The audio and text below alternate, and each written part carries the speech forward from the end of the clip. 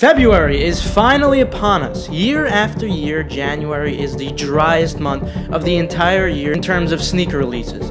Luckily, January has concluded, bringing us to the most action packed month of the year, year after year, and that, my friends, is February. This February, to be specific, is absolutely insane. So, in today's video, I will be going over sneakers to resell in the month of February. If you're not into reselling, that's fine. You can use this guide to know what are going to be the most hyped releases this month, what are going to be the most limited release this month, or even what popular general releases to wait for sale prices on because we're all trying to save a little bit of money on personal pick. Specifically, I will be going over the name of each sneaker, the release date, the retail, and whether they will be profitable or not, or if you should even wait for a sale on them. Now, just a brief disclaimer, there's a lot of sneaker releases that aren't confirmed as of now that may pop up throughout the month, so subscribe and turn on post notifications just so you stay 100% updated on all those. With that though, let's jump right into this.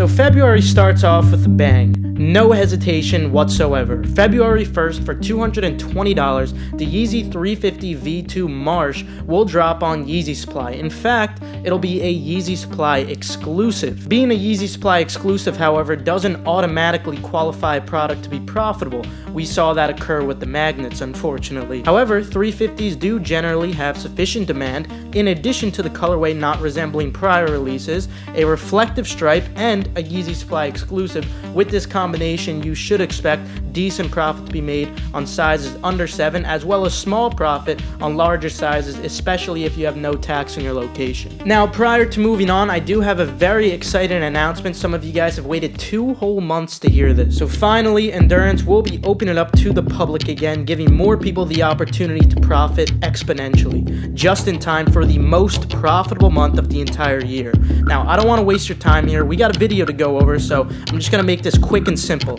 So I'll leave the link for the site and the success page in the description because I really do feel that success speaks for itself, speaks on the profitability of the membership. So you can feel free to check that out if you do wish. The restock will be at 1 p.m. Eastern Time, Saturday, February 1st. It will be tweeted from Keith Adam 10, my Twitter. Now, for all of those in Europe, I do have great news for you. Endurance EU will now be a separate server. It will be cheaper than the normal server because it's identical aside from info and monitoring that only applies to US being left out and filtered out. For example, you won't have a Hibbett monitor because Hibbett only ships to the United States. So I'll tweet out the link to purchase the main Endurance, the worldwide one, and then right under that will be the Europe only one. It will also be cheaper for Europe only considering you won't have any US info in that server. Both will be at 1 p.m. Eastern Time tweeted from Keith Adam 10, Saturday, February 1st. But now let's get back to the video because I don't want to waste any of your guys' time. So also February 1st, the infrared SB Dunks will be dropping for $100. These have been dropping through throughout the month within the United States because they are a general release. They do not have an exact release date. However,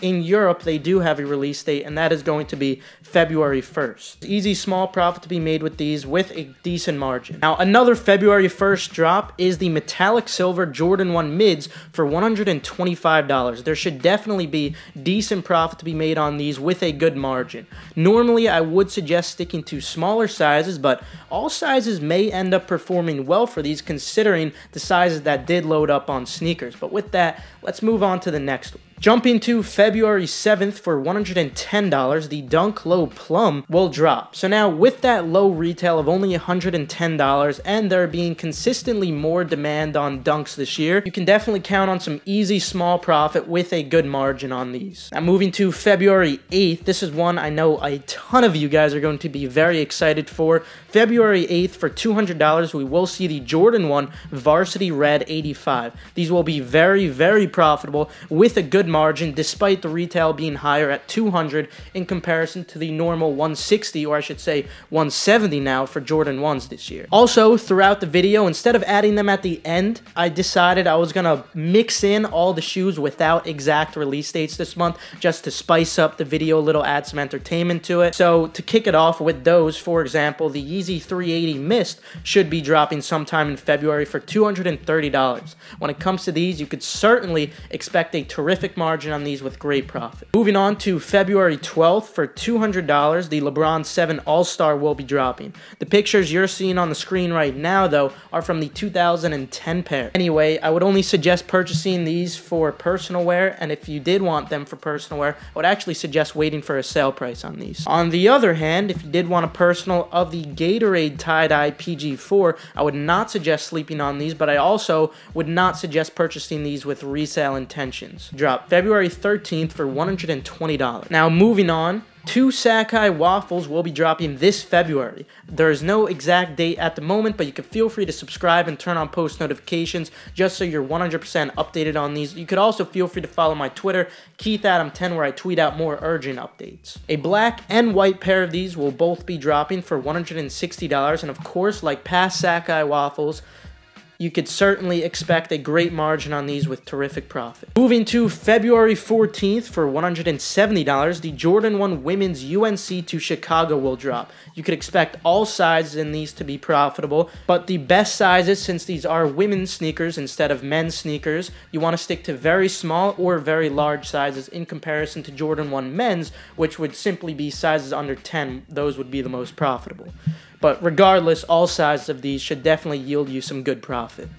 Also, February 14th, the Jordan 1 New Beginnings pack should drop. It's actually two Jordan 1s for $350 total. You should expect some good profit here. I'll keep you guys updated. Now, another one with no confirmed date as of now, but should be Valentine's Day, which is also the 14th, for around $120, the Strange Love Nike SB Dunk Low should be dropping. Expect definitely decent profit on these with a great margin considering the retail is so low on these SB Dunk Low. Now, February 15th, 15th for $200, we'll be seeing the second Yeezy 700 V3 after seeing the first one not too long ago. This pair is all black, expected to be very profitable with a great margin on these due to that low retail of only $200 even though we're used to Yeezy 700s being $300 so this is just an absolute bonus you love to see. Also February 15th for $200 we will see the Fire Red Jordan 3 which you guys already saw from the shock drop. I would suggest purchasing these for personal only for the main drop, even though you can make a little bit of lunch money right now off the shock drop. When it does come to the main drop, personal only. I personally do think they do look pretty fire. Uh, I'm sorry, that was a terrible joke. To add to February 15th, just to add on to the flames of a chaotic day, we have an off-white dropping, the off-white Jordan 5s for $225. There will also be toddler and preschool pairs releasing on the same day. Now regarding men, preschool, and toddler, all of which should yield you incredible profit with a great margin. So yeah, February 15th and even 14th, definitely very hectic days. We'll have to keep our eyes wide open. Now moving on to another sneaker with no exact date at the moment, the Yeezy 350 Flax should also be dropping this this February for $220. There should be easy lunch money to be made on sizes under 7 and under 10 if you do have no tax in your location. Moving to February 16th for $100. Moving to February 16th for $400, the Nike Adapt Basketball 2.0 will drop. I would not suggest sleeping if you do want a personal pair for these simply because I can't see them going too far under retail on secondary market platforms. However, I would not suggest purchasing these with resale intentions. Anyway, moving on to another February sneaker with no exact date at the moment. For $350, the Fear of God Air 1 string will drop. You can expect small profit to be made on these with a very poor margin. In fact, if you have tax in your location, I may suggest staying away from sizes over 10. Another drop with no exact date or retail at the moment, but it should be February 15th, although it's not confirmed at the moment. The Just Don Air Force One in all blue will be dropping. You should be able to make decent profit off these, but that does depend on the retail. So we'll see what happens there. I'll keep you guys updated on these. Now, jumping to February 20th, we have the Adidas Stan Smith, Disney, or Mickey Mouse collaboration. There are going to be three shoes in total dropping for $120 each. When it comes to these for personal wear, I definitely wouldn't suggest sleeping. Regarding profitability, I'm not sure at the moment, but there is a chance that you might be able to make a little bit of lunch money. And keep in mind, Adidas does do free return. Then moving to February 21st, the first Yeezy 700 MNVN should be dropping.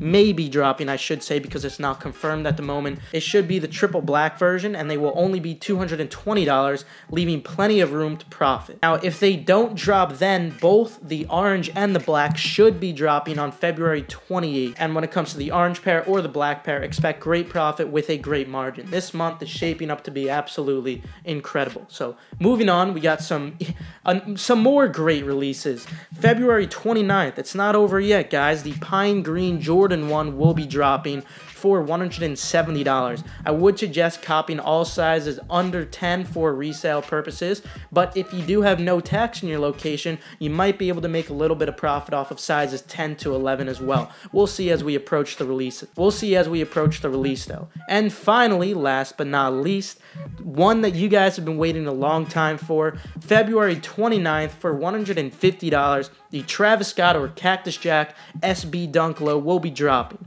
Of course, you could expect very high profit on these, and it may very well have the highest margin of all of these sneaker releases throughout this absolutely action packed month. So, evidently, we have a lot to look forward to. We have a lot to prepare for. If you do take reselling seriously, you do understand this is a big money month. You, you do understand that you're going to be making a lot of profit if you do pay attention and you do play your cards wisely. But anyway, with that, I'm going to conclude it for today. Again, just a reminder Endurance will be restocking at 1 p.m. Eastern, February 1st on Saturday. It will be tweeted from Keith Adam 10. Keep in mind, the worldwide link will be first, and then right underneath that will be the Europe only link. And for Europeans, it will be slightly cheaper because there is no US info within that group. Anyway, I'll conclude it with that. Feel free to leave a like if you did enjoy or you perhaps learned a thing or two. Subscribe and turn on post notifications just to stay 100% updated with that. I'll see you guys later. Have a fantastic rest of your day. Me over every single day. Get your foot off my foot. Ah.